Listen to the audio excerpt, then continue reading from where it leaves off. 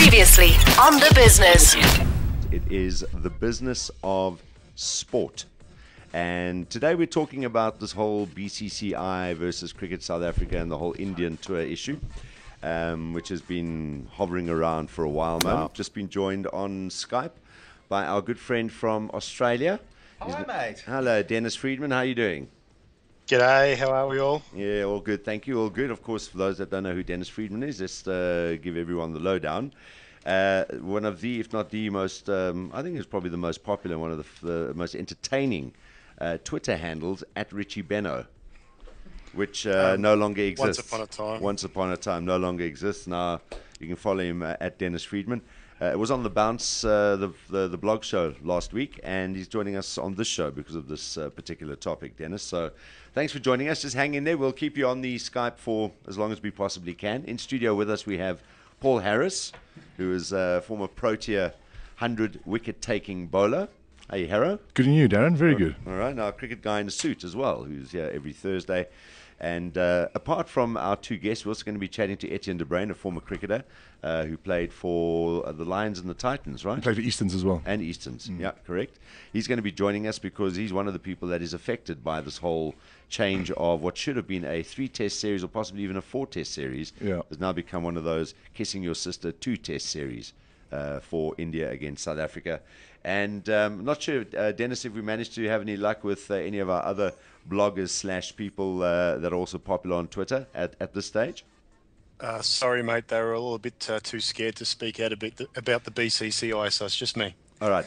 There it is. Dennis has brought up the whole crux of this matter, and this is what's getting up my nose, is that over the last couple of weeks, um, since this has become a, a, a big hot potato, all right, what's getting up my nose is not the fact that it's literally a two-test series, but the reason why we've got there and how it's all come about. Because, um, first of all, uh, we're playing two tests because there's a personality clash between Haroon Lorgat and obviously some people at the BCCI that don't like him.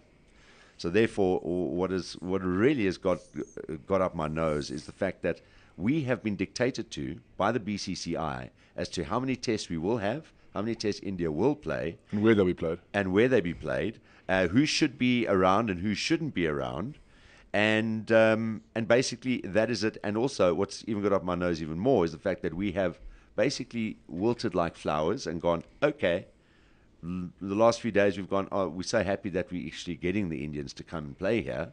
So that's all been accepted. And as Dennis has just said, nobody, nobody wants to talk about it. I'd like to know from a business point of view, um, if I read into this and between the lines and all those nice things, is it a money issue? Is it, it, Yeah, it- definitely. has it has it got to do with uh, with people making money? Are there are there potentially uh, sponsors who are going to be seeing the upside of, of this the, the situation? Well, I don't know if I, Harrow, I don't know if there are any sponsors that'll see the upside because apart from your cricket sponsors who sponsor the Proteas anyway, the exposure will be limited if there isn't a game in Cape Town on New Year. Yeah, I think the the biggest losers are Blue Label. They they at the 2020 sponsor Yeah. of our 2020s, and we aren't playing any. They were supposed to be. I think there were supposed to be two. Yeah. Um, so they they'll be the biggest losers, and it's a pity because they just they just come on board as well, and they're a great sponsor. And you know when you when you're losing games like this, as you said, for silly reasons, just Yeah. a personality clash, then it's uh, it's a bit sad. So you know I think that when you get South Africa, England, and and Australia together. I think um, you know together we can actually fight them, but uh, one on one we we're struggling because they've got all the money. Well, if you get those three together and say we're just not going to play you, then it's then it'll then, then it'll actually have some clout. But that's the only way I see us getting around the whole issue. And who is going to stand up uh, to them? Because effectively the ICC should be taking the lead here and going, listen, this is a scheduled tour. You will play the games that you are scheduled to play, but the ICC are toothless. Uh, I think I think they are playing. I think that they signed that they signed that. Uh, I can't remember what it's called. It's a, a future tours program, and the, the minimum amount of a tour is two tests and three ODIs. That's a minimum tour. So they are playing the minimum tour. So they haven't broken that contract. But the problem comes in is that ICC have never really put their foot down. I mean, obviously everyone uses DRS except for India. They don't like it, Why? so they just don't use it. Because look, it has it has uh, favoured them in a way not to have it because they've got lots of spinners and Yeah. they tend to get away. You know, umpires don't like to give Sachin Tendulkar out either. So, you know, they they, they, they, they get away with a lot. So Yeah. that's why they don't want to have it. But um, um, you know, they, ICC should say right. It's a it's a rule now. Everyone has to use it Mm. and deal with it. Although the, it comes down to the, the, the whole question. In any sport, no one is bigger than the game. But when it comes to cricket now, the question is is India now bigger than the game? Is this what it's about? Because you asked about the money. And that's what it's about. It's about the money, but in the I think the other way. People are being affected here. I don't think anyone really makes money, but because India basically finance cricket, the question's got to be asked. So if anyone stands up to them, you know, is it a case of spiting, uh, biting off your own nose to spite, or cutting off your own nose to spite your face by going, well, then we'll pull our money out, and will cricket be able to survive if India didn't exist? Those are the kind of questions. Hopefully, we will get through this uh, this morning in the business, which is proudly brought to you by First National Bank Business Banking. More coming up in a moment, including what Gary Kirsten, Haroon Lorgat, and Ian Healy had to say to us in the last week. See how many of them were willing to say anything about this. All right, it's the uh, business of sport today with First National Bank Business Banking. In studio, Paul Harris has joined the uh, the regular crew.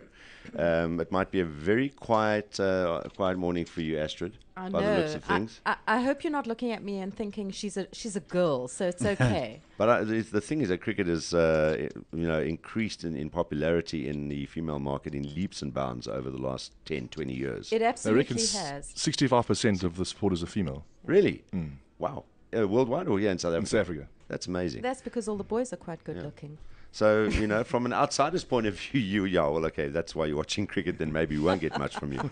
But from an outsider's point of view, maybe uh, you, you will be able to throw in a couple of questions as well. Uh, Dennis, I see you sending me messages on Skype. Um, I didn't quite catch them, they disappeared beforehand, but uh, basically you can share it with us now. Based on just what we've started with, uh, how do you guys see it from your side, from Australia? Because when I spoke to Ian Healy yesterday, and we'll let you hear the clip in just a moment, uh, we said, look, you know, we talk about 200 million that gets lost. That's rand. So in exchange rate terms, it's probably about 30 million Aussie dollars. That's going to get lost by the fact that we're not having a Cape Town test. Uh, when you look at how well supported and how big it is uh, for this time of the year in Australia, you've got to be talking millions of dollars if they try to pull the same thing with you guys. Yeah, the uh, the issue goes back to this um, FTP, the uh, Future Tours program, and uh, and in essence, what the ICC attempt to do is give certainty to all the um, test playing countries about what's coming up for the next 12 months. And if you link it back to a business perspective, um, those respective boards then go out and sell sponsorship and TV rights and organise grounds, and all these things come with a cost, and they also um, uh, have have their reputation linked to them. Now, when the um, BCCI start stuffing around with um, tours at the last minute to allow Sachin to play two final tests, and then blame it on Lorgat as some sort of way to get out and, and win some brownie points and throw some punches. Um, if you think the impact on um, um, Cricket South Africa, what you've got now is um, a board who's probably been running around for 12 months selling TV rights to um, to your TV channels and and um, selling um, catering rights and selling corporate packages and so forth, and and the confidence drops out of the market. So for your local uh, cricket revenues going forward, it's going to be very hard for um, Cricket South Africa when they're um, organising future tours with India to be able to um, uh, ask for the monies that they that they probably deserve because there will be some risk attached to it, and in the business world, that's unacceptable. All right, I want to go back and maybe let's. Uh, we're going to. I think to get Fanie on the line as well. Fanie de Villiers, who um, bravely or stupidly, one of the two has been uh, quoted as making some. Uh, uh, it's funny when I read the article in the Times of India. He's quoted today. Uh, has a full go, but at the end, he kind of almost looks like he's like, you know. Okay, but listen, we like you guys, and you guys are, are really cool. so we'll, It's a bit like taking on the CEO in the boardroom and then and then realizing what you've done. Yeah. Funny enough, just before we go to Ian Healy, I had a conversation, and this goes back to this whole thing about nobody, no, whether you work for CSA or you slightly link CSA or you've got a, a toe with CSA uh, and also a toe in Indian cricket somewhere or another, does not want to say a word about this. It's almost like the mafia, these guys. Uh, It's starting to sound a bit like FIFA. It's, it really is. These everyone is too terrified. At uh, Mark Boucher's uh, tribute evening, where Ian Healy was on Wednesday night, uh, was having a chat to. Uh, maybe we don't mention his name, okay? But just uh, he's, he's high ranking in, in CSA right now. No, I wouldn't mention his name. I won't mention his name, um, but he is high ranking in CSA as someone that, that does have big decision making powers. And the conversation I was having uh, with him uh, later on in the evening was about this whole thing. Uh, and obviously, what he said about the actual tour uh, off the record. But when I said the question is, well, why don't you guys come onto our radio shows or any radio show and talk about it or talk to the media about it and, and, give your side of, you know, what you feel about it? And the, the response was, the best CEOs in the world you never hear from. I disagree completely Well, of course, because I immediately mentioned Michael Jordan. Absolutely not, and, and and some fantastic international examples as well. Yeah. Uh, Sun Microsystems, you know, the biggest CEOs in the world who lead the biggest Mm. listed companies in the world, are quite happy Yeah. to speak to the media and appreciate the, You have the to. importance of that. You Yeah, have th- I to. thought And why, why should cricket be any different? It's thought it run like a business. It's about money. It's, It's about fair, though. generating revenues. That's It's fair. fair. That was a lame excuse to try and say that uh, you know our CEO doesn't need to talk to anyone because that's what makes makes a great CEO. What a load of balderdash. Anyway, um, and I- and I hope you'll be able to hear this as well, uh, um, Dennis. Um, you are hearing Harrow and everybody else, right? Yeah, loud, and clear. Okay, cool. This is what Ian Healy had to say on the show yesterday when we spoke to him on our Cricket Guy in the Suit uh, feature yesterday afternoon. Final one, uh, Ian, I know that we've got Australia coming up. Uh, a lot of ch- chat has been about the India tour coming to South Africa, uh, but then afterwards we have got Australia, and thank God it is a three-test series because uh, personally I I don't know what why we end up sitting with two test series, particularly when one plays against two in the world as we're going to have here in South Africa when India come here. And obviously, you know, it goes down to what demands have been made by the the BCCI. And we've uh, we've actually had a, a subject going around on Twitter going. Uh, you say in sport that no one is bigger than the game, no matter what sport you're talking about. But in cricket, are we in danger of that that that whole premise being blown out the water by scenarios like this? Uh, yeah, India are very, are very uh, powerful leaders, and uh, that they are behaving uh, unpopularly. Is that a word? Yeah, Uh, uh, well, it is now. As leaders, as leaders of our game, they, they threaten to, to withdraw things, and they, you know, they, they, they have got a lot of power and they're using it. Um, so that's a danger, especially when we've got a sort of a, a toothless ICC, which is just um, you know, me- member nations being represented by their chairman. It's it's not a real governing body as such. So, so that can be influenced by vote by vote stacking. You know, so yeah, yeah, the, the game's in danger. But but you know, rather than think about that, the game's pretty strong. Um, it is a it is reasonably unethical, I reckon, what India has done to South Africa. Uh, knowing that South Africa really pulled them out of a hole with the IPL a couple of four years ago, I think it was. Yeah. So South Africa probably could have uh, expected a bit better from India, but didn't get it. So uh, it's a gripe, but um, you know we should should just look to develop the power that in, India have got for the good of the game and uh, try to work with them a bit better than than take them on all the time. Yeah, because I mean, you talk about the amount of money uh, that that gets lost, but we talk about Australia and, and your Christmas period, and obviously, I mean, you get ninety thousand people in Melbourne, and Sydney's full, and you and you get them there for all five days in a series like this in particular. Now, uh, how do you think Australia would react if, if it was uh, India coming to you for what would normally be at least a three-test series, and they come and say we're only playing two because of the same premise? Yeah, no, it's it's uh, you know as I said, unethical. I reckon, um, and and not good enough. Um, you, you know, you you're getting looked after on one hand, and it's got what what goes around's got to come around, and and India are just just getting it all the time rather than giving it too much. Um, so no, Australia would react, you know, as forcefully as as as South Africa have. Uh, that they would play every card they have known to them, but but you know, India threatened to go home over the, the race issue between Mm. Harbhajan Singh and Andrew Symonds and Matthew Hayden a few years ago, uh, and Australia, you know, bowed to them. Um, they just couldn't couldn't bear to lose fifty million dollars, which Yeah. is what it was reportedly going to cost them. So, so yeah, no, India know that they they play that card and test out plenty of nations, and generally they come up trumps the Indians. All right, so uh, Dennis, let's just go to you on this one. Uh, uh, oh, can we gather from what Ian says, as much as he's as outspoken in saying that it is childish and stupid the way uh, they're behaving, that uh, even the um, I don't want to say the mighty Australia because they're not mighty at the moment, but uh, they might they were some time ago. But can I say the the generally very abrasive and uh, in your face sort of uh, aggressive Aussies would even um, fade and, and, and, and wilt like flowers when it comes to the might of the BCCI. Uh, I've got a, I've got a theory here, Darren. Um, it, the last time something like this happened in world cricket was in the 70s, and a bloke called Kerry Packer took on the English cricket board and the Australian cricket board and created World Series cricket because both of them were being idiots. um, and change the game. So you need someone with some some balls to take it on. And I think you you made the point earlier. You know, why don't South Africa, Australia, and England just walk off and start their own thing?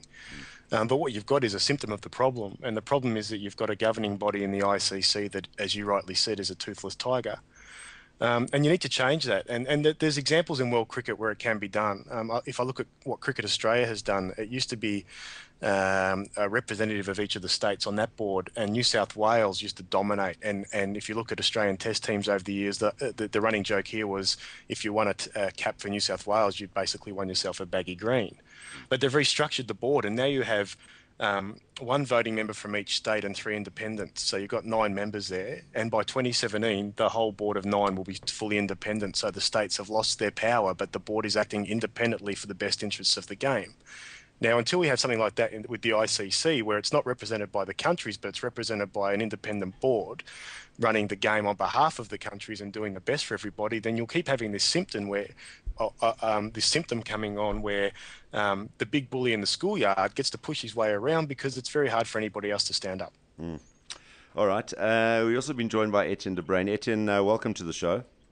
Thanks, David. All right, nice to have you. Just speak into your mouthpiece, so you're very, very low, and you're gonna you have Fanie de Villiers' phone ringing just now. Uh, Harrow had to quickly run out and just, hey, Fanie. Harry? Hey, Fanie, it's Darren and Harry and uh, cast of thousands here at Ballz Radio. How's it going? Hello, fine yourself. All right, thanks. Thanks for joining us, Fawn. Uh, We also got Dennis Friedman from Australia uh, on the line. He's just um, given quite a few uh, interesting points about this whole thing about is the rest of the world just going to sit back and. Uh, you know, wilt and, and just go into our little shells whenever the BCCI bark and tell us what they want and how we and how we must uh, handle our affairs at home. And also, where do you draw the line? So, in terms of what, what Dennis just said, and this will also give background to Fanie as well, uh, Harrow, uh, your comments on, on what Dennis has just said and what we heard from Ian Healy? Yeah, I think Dennis is spot on. I think that uh, you, know, you need an independent board of the ICC. I think that uh, it's a conflict of interest if you have the countries running it, and, and they need to get harder. And you can't have a ICC you have no rules and regulations for, for one country and a thousand for another. So I think they need to come harder. Uh, I think it has to come from the ICC. It can't come from. It's more difficult for it to come from the from the from the individual nations, and I think the ICC need to grow some and and um, and put their foot down. Fanie, what do you say? Um, Darren, in the first place, I think one must be very, very careful not to run away with something that might not be an issue. If you guys can put me five basic influences of India on the table that was unfair, then we've got a point. Then we've got a point to discuss. Firstly, uh, everybody's probably saying that, um, oh, what's been happening with South Africa this day? That's a hell of a point. It's not a point. I'm in business. I've, I've, I'm in actual fact, I'm involved in three businesses. And one of the main principles of business, and let's just talk about the issue that started this whole affair of Haroon Lorgat. The main, one of the biggest pillar of business is relationships with your main accounts. If I've got a company, I will not employ anybody in my company. Doesn't matter if the guy's got 10 degrees. Doesn't matter if he's if he's right for the company uh, when it comes to administration. If he is an enemy of my main account, I will not employ him because that will be a bad business uh, decision. It's not even a question. We've been warned. They are the main account. They are 70% of, of South African cricket, cricket's money, if I believe, if, if that's true. And if that is the case, then their request wasn't unnecessary. Their request wasn't unreasonable, rather. It was a proper request. This guy was a bit of a bully. He was probably a tough oak when it came to certain decisions that, that, that India got forced into or that they, that they try and force them into, and uh, he's made enemies with us. But We Fanie, can I just come in there because once again, does it? Do, do you see this as a personality clash because the the decisions are made based on the fact that they don't like somebody who effectively was in a position where he was he felt he was doing his job and you know to where do you draw the line Doesn't- again? Doesn't matter if it was relationship related, if it was personally uh, related, if it was issues related, if it was money related. It was done through the ICC in a different capacity to South Africa. It doesn't matter if the guy had an affair with somebody else's wife. It's, that is not the issue. The, the issue is he is an enemy of our biggest account. There is a lack of relationship between our best account and somebody else. And, and as a business principle, I will not employ somebody if that is the case. And So- that's where we've made our mistake. Can I- doesn't can- matter what the ethics is. Wait Can- just a second. Doesn't matter what the ethics is. It doesn't matter if he was right or wrong. uh, if he wanted to move games to other places because of influence. It doesn't matter what the decision was. The fact is, he's the enemy of our main account. They've warned us, and that's where the problem lies. Now, I want to get back to the reasonable point I made. But can I just come in on that point there? Uh, because uh, we're talking about, uh, I think you can uh, adapt this into any business scenario. So if you have somebody who is like, because everyone's saying the ICC is toothless here, the ICC is supposed to be the uh, the organization that actually controls and looks after cricket. So you have somebody there. When there's a disagreement, then between the uh, uh, uh, someone that is heading up the ICC and the BCCI Indian cricket, uh, cricket don't like it. They get to actually then make the call. Then what's the point of having the ICC? Why don't we just say BCCI? You run cricket then in that case. Where do you draw the line? No, you- you- we, we're talking about the South African issue. That's actually the main principle. If your discussion today is ICC, yes, then I'll agree with you. The, our discussion is not that. Our discussion But this is where it roots uh, India- stems from. I know, yes, but that's not the issue. The issue is, are we going to allow India to bully? And I'm asking you guys, with the discussion you have, have they been a bully in the situation that, that we're in now? I don't think so. Well, can we- else calling them a bully. I think it's a basic, simple business principle that I, that they applied. Chaps, if you employ this guy, doesn't matter in what capacity he was the enemy against us or how he tried to influence our business. If you employ this guy, this guy, there's going to be repercussions. I can tell you now, Darren, if you had myself, yourself, Harry, and whoever on the board to make a decision on who's going to be the CEO of South African cricket, we would not have selected Haroon Lorgat because we know he's going to influence our main account. Let's have a look at the ripple effect. The ripple effect is not just this 200 million we're going to lose here. The ripple effect on, on, on, on the IPL. Who says that they won't influence the IPL scenario now and kick South Africa out and say, West Indies, you come in as a third party in the IPL because all the millions and millions and millions are going to start rolling in now from the IPL towards South Africa because we're one of the three countries that started the IPL. It's, it's not a sane business principle to employ anybody that's an enemy of any account. Doesn't matter what happened in the past. Doesn't matter what is done wrong or what is done right. So basically, what, what we need to do then is every time we choose someone to head up the CSA, we've got to send that for approval uh, No, to no, the no, no. BCCI. No, no, no, you're generalizing now. You, you cannot make anything that's exceptional on the rule as a general point. That is not a general issue. I want you guys to tell me, give me another two or three or four issues where India have been a bully. Come, give me one. All right, well, let's start You it out there. Uh, you can't say signing the, uh, the signing the, the, the, the referral is they don't want to do that, that they're bullying the rest of the world. That's a decision that was a that was a democratic decision that they made not to use it. But but hold on, Fanie, that's that's one there, and and, and I want to bring in Harrow and and uh, and Dennis Friedman from Australia on the line here. But that is one again. What right do India have when the rest of the world say we will adopt DRS that they say we're not going to use it? I mean. Again, you know, it's, it's one rule for one, and it's, everyone else has to go with the other rules. I know, I know you. I know your point about yes, they are the, you know, they are the money in cricket at the moment. And we did say ask the question if Indian cricket uh, were isolated from the rest of cricket, would the rest of cricket survive? Uh, and and probably it would be in a, a lot of trouble. I don't know, but I'm just saying one rule for them, and, and, and everybody else has to abide by the other rules. Dennis, what are, what are, what are your thoughts, and in, and in answer to what Fanie just had to say? Yeah, uh, g'day, Fanie. Look, I think uh, Fanie made some good points, but um, uh, he missed the start of the conversation. I think um, some overlays here is that from a business context, I actually see um, the BCCI and the CSA as divisions of a bigger business, and the CEO, which is meant to be the ICC, is not managing their senior leaders well. And what you've now got is this infighting and this spat. They're both they, they should be subservient to the ICC, and the ICC should be managing the game. It shouldn't be the respective boards going out and getting what's best for them at any particular short moment in time, because the long-term view is is gone. I do agree with Fanie that, um, given that that is the case, though, and we don't have utopia in how this thing is managed, that there needs to be some. Uh, some management of personalities, but there, the, but uh, you know, um, there is some bullying that the BCCI have done. You know, they've banned Pakistani players from the IPL. They've um, um, they they threatened to withdraw from a tour in Australia not long back because Harbhajan Singh had a fight with Andrew Symonds. Um, they you know, um, and they were also accused of ball tampering. I mean, if you remember when Sachin was accused of ball tampering, they they threatened to withdraw from cricket from, from the whole world.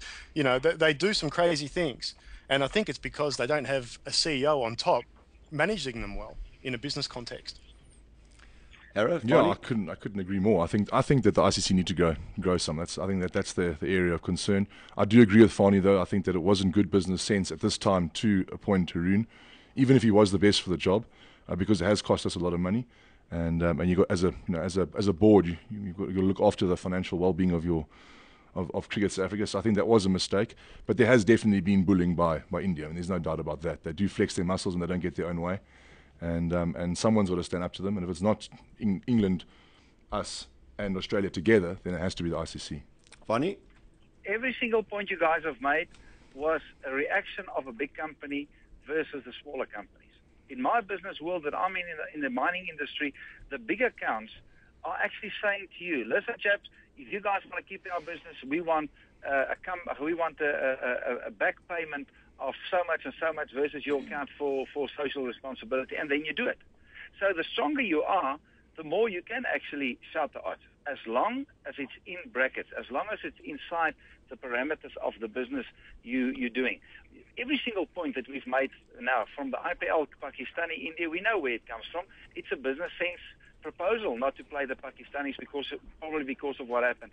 Even even when they when they said um, Tendulkar did this and that wrong, why wouldn't they make a noise? Everybody else would have done it too. So again, I'm asking you guys, come give me the true the true bullying that has taken place because of somebody that's stronger than anybody else. This is a business world. We're not dealing with a sport anymore. We've taken it towards the business world with business principles. And I can tell you now, every single one that I'm hearing of, I can relate to. Because it, it happens in, in, in my businesses too. It happens it happens all over when you've got big accounts. That the guys do want to streamline, that they do become important.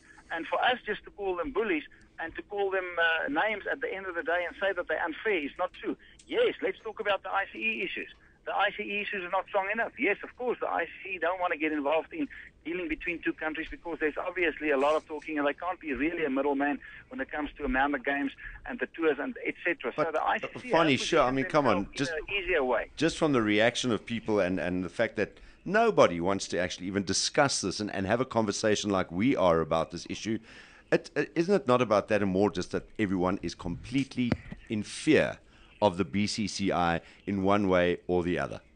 or or the, the the little bit of fighting behind the scenes is probably based on the little bit of business principles. That's also an issue. That's also a possibility. And I can tell you now, most people that don't want to shout the odds, that don't want to go the route of what I'm saying, get rid of Haroon Lorgat. Doesn't matter how good he is for South African cricket. Long term, nobody is worth two, three, four, five hundred million, if not a billion rand. Not one single person in this country, not even the president of this country, is worth that kind of money for any company if you're going to lose it. He will never, in his reign as the CEO of South African cricket, recoup that money in his hmm. time. So that's business-related principles, and and that's why I'm standing by saying, listen, we're shouting the odds here against people that hasn't really, in a court of law, done anything wrong. Signing off the DRS. At the end of the day, there's no rules. You're calling it rules. There's no rules. They said, chaps, this is what we want to do. You guys are allowed to vote. They started the democratic process. In actual fact, Haroon, that's his own baby. He started that, that democratic process of everybody must take, uh, must do it, or if you don't want to, he never said anybody. If he said that you guys can vote about it and, and, and decide if you want to use it, and if one of the two countries don't want to do it, uh, then we don't have to. They started that rule. But Nobody surely, in a that. in a democratic environment, which you would think that even the ICC would be one, that if uh, every single one of your uh, and, and yeah, I mean, a democratic environment doesn't necessarily mean the one that's got the most money gets the, gets uh, gets the say. It's uh, you know, it's like if if everyone barring one votes that we're going to use this, then in a democratic environment, the one that doesn't want to use it has to go with the rest of the group. I mean, Yeah, that's I how it works with- I anyway. agree with that. Let's stick, let's keep it let's keep let's keep it to cricket terms. If the bylaws of the ICC said that in a uh, that 80% vote can cause a rule and can change uh, uh, uh, the line of attack on different rules, yes, but they haven't done that. It's a democratic system. Everybody or nobody.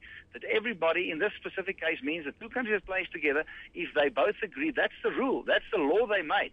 That is a rule. Lorgat's own baby, most probably, hmm. when it comes to, or the people in the ICC, when it comes to setting down the rules. Then the ICC should say, right, from today on, we're going to change the voting. If 80% of the countries in the world votes towards a rule, then it changes. It doesn't matter who. They haven't got But that. the ICC say that basically if India don't like it, then they're just going to say no, we can't do it that way. So I mean, what what has come out of here so far this morning basically is the existence of the ICC in today's cricket is pointless because they have absolutely no power um, to to to manage the game. Well, I think I think there's probably 98 other points that they do manage properly and that they do play a big role in. We just we can just have a look at the mobilizing of the development of the game towards other countries. So there's quite a let's be let's be honest, Darren. There's quite a lot of issues that you need a governing body for. But when it comes to the intricacies between two countries, when it comes to the intricacies between two uh, smaller accounts, surely that should stay with the countries. And I can see that that has taken place. And if that is not happening anymore, then we must go the route of making it and changing those rules. But they haven't. Hmm. So we can't point fingers to the ICC if, if those rules are not there yet to, to, to push them into corners. Until those rules are there and they break a solid rule where you can take them to court, then we can have this kind of discussion. I think the reality is they are the strongest in the world.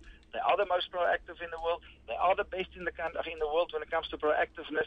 Let's face it, they've gone even past Australia when it comes to the IPL and a lot of other issues. Aussie was ruling that in the past. Um, we came up with T20 ideas when I stopped playing in 1998. We never took it to the next level. England took it to the next level. So in a way, we're not the very we're not the most proactive country in the world when it comes to cricket, and we're paying that penalty. We are a reactive management system. That's what we've been for a long time. We know how we've gone through CEOs, and then we know of the corruption issues. We know of the World Cup.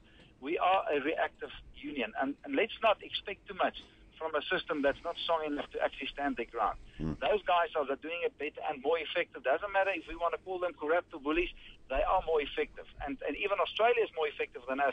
So I can understand in the business world that South Africa can get bullied in a, in a way, just the way we run our affairs. So Okay. uh, it's not it's not all their fault. All right. Just uh, before we let you go, Fanie and uh, Dennis are going to hang on for us. Now we've still got somebody else waiting on the line. He's been listening to this with interest. Who is one of the uh, the people at the other end of the chain? One of the people that whose business is affected by decisions like this. Um, and and we're going to get his comments in, in a short while, but. Um, just some of the tweets coming through. Brian Stoddart going, weird appointment in the first place given track record. I think he's talking about Haroon there. Uh, Bruce K uh, only joined halfway through the discussion, really wants to listen from the beginning. Bruce, we can tell you, uh, we will have the podcast up very shortly after the show, so you can listen to the whole thing from the top, including the comments of Ian Healy yesterday and uh, the stuff that Dennis has said uh, and, and Harrow as well. Uh, Sean says, the way Fanie describes the BCCI as a business and its actions we could be uh, we would be calling the competition commission uh, great comment there sean and peter miller saying no matter how good lorgat is for csa he should go says it all says peter miller finally we appreciate your time but thank you very very Yeah, much for joining us Thanks, Vaughn. Thought, last thought, and probably a cliche. Beggars can't be choosers, Darren. Yeah. We're in a situation where we are sitting with hands open and hoping for everything to come our way. so to answer your question ian it's all about the cash There you go. it's all about the cash and who's got he who has the money wins, Wins. exactly Fanie, thanks a lot but Thanks, all Fanie.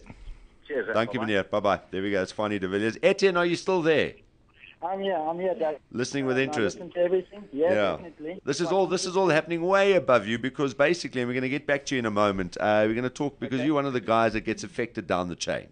Uh, You basically do hospitality packages and stuff like that. That's right. That's yeah, right. and uh, and you losing money because of this uh, decision. The fact we're only playing two tests and there isn't a Cape Town test, right? Yeah.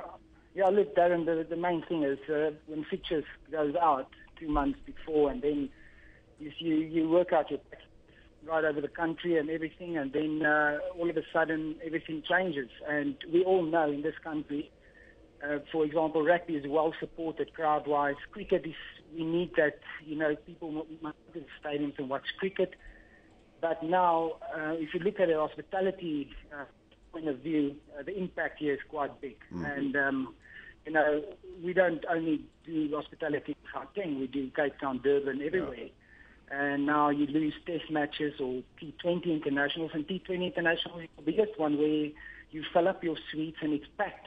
Um, Test matches, not that much. But we lost all the T20s. We lost um, four or whatever ODIs all over the country.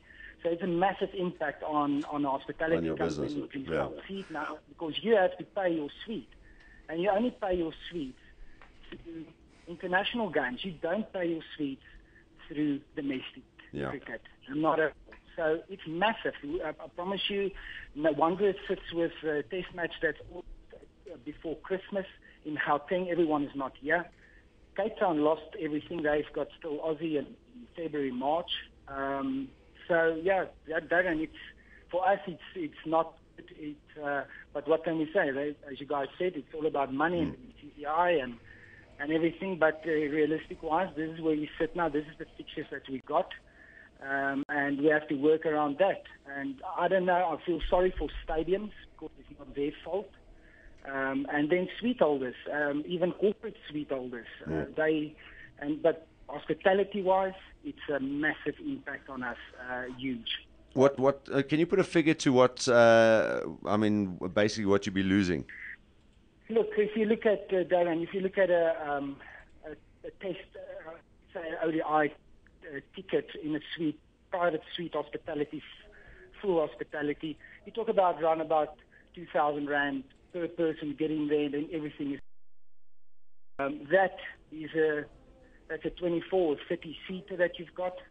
So that thing pays your box, uh, almost your box. So if you have two or three of them, you sorted for the season. Yeah. But now you lose uh, a, a T20 or ODI. I mean, that is severe damage and planning that we need to do now to see where can we sort out the suites where we've got um, um, at stadiums, you know. And look, figure-wise, uh, just to run a suite full hospitality-wise, you talk 200,000 turnover a year. Wow. That's what you need to get in to make sure it's a proper VIP uh, suite. But um, now, I mean, you lost fixtures now. What now? And they spoke about Pakistan coming or something like that next month. I don't know what's going to happen there. Well, but, uh, I mean, uh, apparently there's no one available to fill the gaps. That's what I've heard. There's no So- one available. And maybe before the end of the show, I'm going to put it out there um, before someone else does it and then, you know, takes the credit. We've been chatting to Harrow about it, what I think would be a really good uh, thing to fill the gap here and actually, you know, help guys like yourself. And, and, and we, you know, when you talk about those kind of figures, you start adding all the other, uh, what is it, concessionaires, people that are selling various things, Oh, memorabilia, or, or, you know, even your ice cream vendors and the guys around there and the bars around there and, and the people that go to the bars to watch the cricket. And, uh, Absolutely. you know, then you can start seeing where this 200 million rand uh, figure starts to come from, and that's just starting from the bottom before you start to talk about the big boys and how much is being lost in advertising, TV uh, rights. TV rights, and stuff like that. So, Yeah. so Etienne, yeah, I mean, from from your point of view, our, uh, our commiserations that uh, you know that that for you you don't have a, a, an opportunity to have a say in this matter. You've just got to go with whatever um, Cricket South Africa agrees to do, and Cricket South Africa has to go with whatever this, the ICC do, and the ICC aren't doing anything, so they have to go with what the BCCI wants. Let's just hope that they don't ask Dale Steyn to come off four paces, otherwise we only play one test, because then you lose more money. It's also credibility for, for Etienne as well, because I mean, if he if, Well, if, he needs if, some. If India, yeah, true, but if but if, if if India come back here again, let's say at a later stage, and he wants to sell his you know corporate boxes, seats in his corporate boxes, people are going to say, well, no, Yeah, I'm not going to buy them because I don't know if they're actually going to rock up. yeah, up. exactly. So you've got to, yeah, Paul, the, the major thing here is also this can't happen again. Look, it happened now, um, but now is it going to happen again? Maybe in two or three years' time. I hope not. Um, I hope they, they solve this problem and, and get the relationship going. I mean, and, and get the people in the stands. You know, we, we've got great stadiums here, but no one wants domestic cricket. Um, I don't know why, but why is everyone watching Currie Cup, for example? It's the same level. I mean, and the stadiums are uh, three quarters full in rugby, but cricket-wise, we're struggling, and now we're getting less internationals. Um, it's it's concerning, and from uh, the business point of view, very very concerning. Darren. All right, Etienne. We appreciate your time, but uh, all the best, and uh, and thanks for joining us on uh, the business with First National Bank Business Banking today. Thanks, having me. Cheers, buddy. Bye-bye. Thanks. Cheers, my mate. Bye. So there we have it. We've had it from um, you know from former cricketers and, and, and people that are involved. Um, we've even had Pat Symcox weighing in on Twitter here, um, and he's uh, he's going you go fine. So Pat getting right behind his mate. Um, so lots of tweets coming through as well. David Atkins, uh, if they uh, knew it was going to annoy the BCCI, why weren't they prepared for the reaction? All right, this is a, a tweet coming through from David Atkins right now. If they knew it was going to annoy the BCCI, why weren't they prepared for the reaction? Harrow, before we let you go, Yeah, it's a, it's a good point. I mean, there've been a few. I, I do think though that uh, the BCCI have been. I think Fanie said they're not bullies, but I think they are. I think there is enough evidence there to show that they have been bullying and they have flexed their muscles. But then his point about Haroon's also a fair one. So there've been some good points. Um, some people will sit on the one side and others will sit on the other. But um, I think that we've got to try and find a way to get that relationship back to where it was. Because about a year ago it we was just very got to good. appoint people that they approve.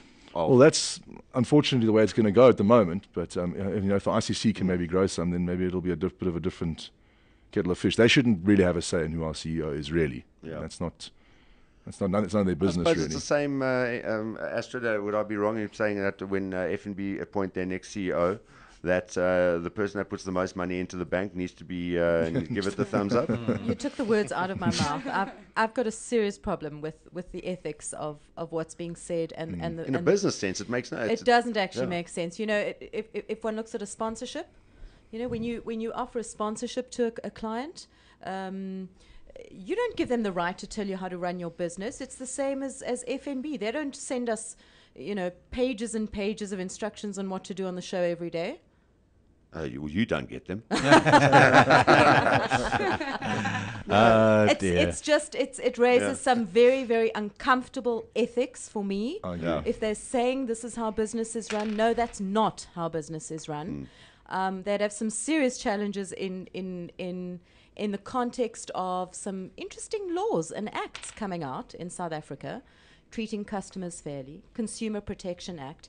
The customer actually comes first. Well, in that's what I was going to say. Is I think the, the, the, the voting public are going to vote with their feet. Yeah. Uh, they're just not going to get themselves to the stadiums. They're going to be going, well, we don't need this. We'd rather just stay at home and watch the watch on the TV. Yeah, exactly. Which is what a lot of them do anyway. We're going to just hold it there for a moment, Harry. I know you've got to go because you've got more pressing matters like golf. Yes. Uh, but thanks for jo- thanks for joining us this morning, and uh, Thanks, guys. we'll Thank catch very up with you next Thursday on uh, on on uh, Cricket Guy in a Suit with Thank you very much. And Cheers, good. Zara. Remember, Cheers, uh, uh, remember, head up and force. Eh? Don't worry. I'm That's uh, Paul Harris, who plays over 14 and regularly shoots under par. So, yeah, he's eth- we need to check the ethics of his golf sometime. Uh, thank you, Patrick, who just said, don't sell India the rights to TV. Ha, ha, ha, ha. Yeah, right. Thanks for- like that's going to happen. Thanks for your input. So, we're going to sum up this uh, this topic. I and just, I I just want to say my, my two cents worth with this. With I mean, I've just been listening very carefully to what's going on, and uh, I don't want to point out the obvious, but it is a very tangled mess, isn't it? It's just uh, what what happened to the game of cricket? Yeah, where did where did it get lost? where the money came in. It's the same when it's like rugby. When rugby was amateur, and people still go back to remember the days, and when rugby was amateur because there was no money involved. And Once the money gets in, it's when all of these other things start to play a, play a role. And Yeah. uh, I mean, Dennison, I see you just tweeted now. Finally debates like he bowled, but I'm still at the crease. He says. Dennis, yeah, thanks for your patience. Uh, just to to bring you back in here. In summary, Yeah, look, uh, yeah, sure, Darren. Look, I think there's a couple of issues here. One is um, you, you have a pure form of capitalism, if we link it back to business, that's running um, a sport, and you've got BCCI who has a monopoly of a billion people. Um, using their market power, and I think one of your other panel members rightly pointed out, there's in, in the real world, in real business, you have competition and consumer laws that protects that, and and when you overlay the spirit of sport and the BCI's charter to actually put cricket first, then maybe some sort of communist um, uh, market mechanism is slightly better. And, and, and I, I relate this to um, if you look at someone like Manchester United, bigger than the biggest club in the world, but they're subservient to the EPL and they do that beautifully. The Yankees in Major League Baseball are the biggest baseball club in the world, but they for the good of the sport, they're subservient to Major League Baseball. Even in Australia, we have the Australian Football League, the AFL. And one of the big teams here is Collingwood. They have over 80,000 members who pay a subscription every year. And so they clearly dominate the competition, but they, for the good of the game, they work un- underneath the commission or this independent commission of the AFL in a subservient manner, take their lot for the good of the game so that everybody survives and everybody gets their piece and, and the game grows mm. rather than one person dominating and, and everybody else feeling like you and I are feeling now. Um, where we have this capitalist uh, system where we have a, a dominant market player and, and, and so somebody wins, but everybody else is losing. And, and, and that's fine in, in, in straight business, potentially in, in what Fanie's doing in a mining industry in a global scale. But here we have an overlay which is sport, and sport has an uh, um, has in, inputs like culture and tradition and history and and honor and so forth. And if you take that away, then uh, then then we've lost um, the essence of what cricket is all about. Yeah, and it comes back to my very first point, my first question. Uh, you know, in all sports, and, and you mentioned Manchester United as well. The difference here is, and, and I think maybe it comes down to the first two of the first questions I asked. The first one is, would cricket survive without India? At the moment, probably not. Well, Test cricket. Let's let's look at it this way. Um, do you, if we had to take India out of the equation, would cricket survive? Absolutely, 110%. Because what would happen is the strong the strong nations that are left, South Africa, England, Australia. Well, England New will just buy all the Indian get together players. and they would play. They would play more Test cricket, and they would package it up properly and do it well. You have to remember here, Darren. 15 years ago, India didn't have this power. Yeah. And and and if so, if you go to the to the um, when Fanie was playing in the mid '90s, when South Africa came back on the scene in the late '90s, Test cricket was thriving. It was Yeah. up and about. Uh, we, it was fantastic. Um, it, it, it can survive. You, you, India is not bigger than the game, but they're acting bigger than the game. Yeah, because at the moment it just seems like uh, India is bigger than the game. That was the other part of the question.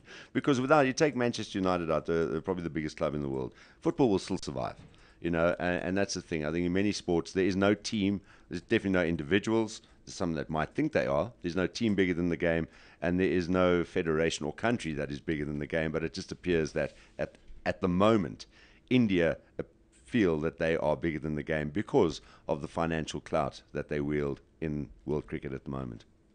That's right. And, and until the until the governing system changes, and that's going to take, um, uh, I think, as Paul was, was saying before, someone to grow some.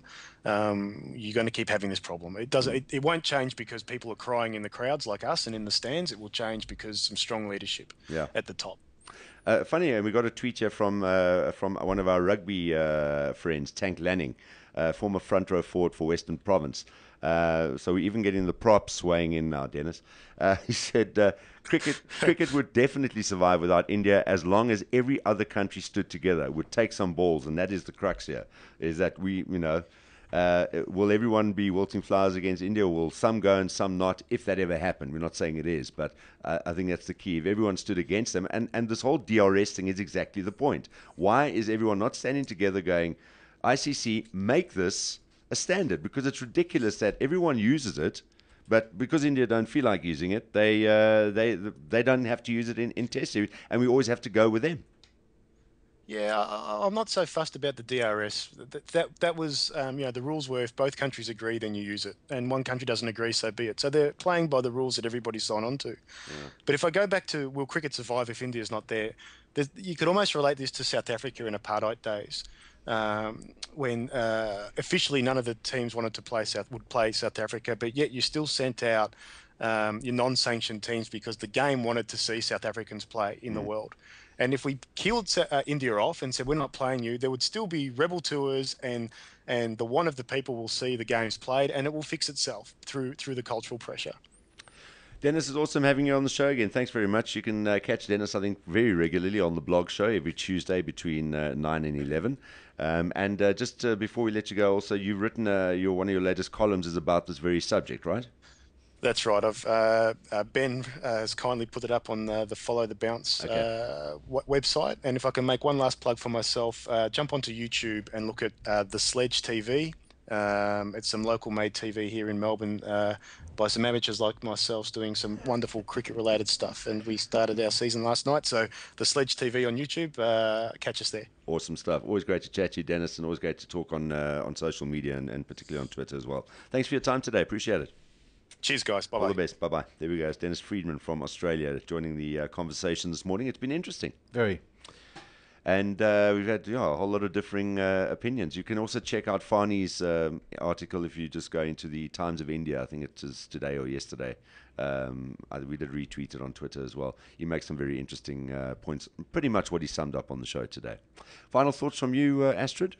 I'd like to. I'd like to talk to the sponsors. Um, you know, I think it's we're talking about uh, England, South Africa, Australia getting together, but but you need some of that corporate clout, some of the money clout, perhaps behind that united voice. So I think it needs to go beyond into that. We've acknowledged it's about money, so why not get the people who are helping to fund the staging of the cricket to join join the cause? Okay, well, we can continue this, uh, but ta- maybe take it into another field because I think rugby was kind of facing a similar kind of thing, and it was brought up towards the end here as well.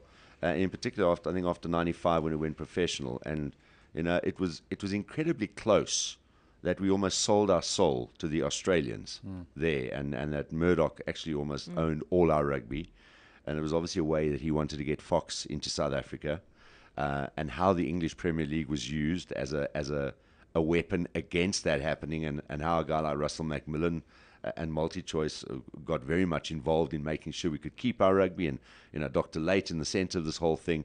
Uh, that'll be a very interesting show, and we'll bring that onto the business of sport. Maybe we'll get Russell on because he knows basically everything that happened from start to finish there. It really would. And South Africa being such a sports loving nation, and people don't realize what goes on behind the scenes. So I think that would, that's what would make it really, really interesting. All right. Well, uh, in in the next couple of weeks, uh, we'll we'll tee that up and maybe get Russell McMillan on the show because that'll be fascinating to uh, to listen to as well. Thank you very much, guys, for uh, Yeah, thank you. That was very interesting. I, I just wanted my parting shot quickly. I want to say I hope there's uh, in future a framework and a set of rules uh, which are put in place uh, that we can learn from this situation and perhaps not let it happen again. who's going to do that. The well, ICC. I, I don't know. That's what doubt it. That's what the whole thing's been about. But yeah, All right. Uh, we're going to uh, podcast this full show. If you joined us only halfway through, we're just going to uh, send it to the BCCI, get their approval, and if they're happy, it'll put it up on our website. Stuff that. We're not. We'll put it up on our Touche, website. Darren, touche. Thanks a lot, guys. This has been the business of sport. Get that and your other favorite sound clips from ballz.co.za now.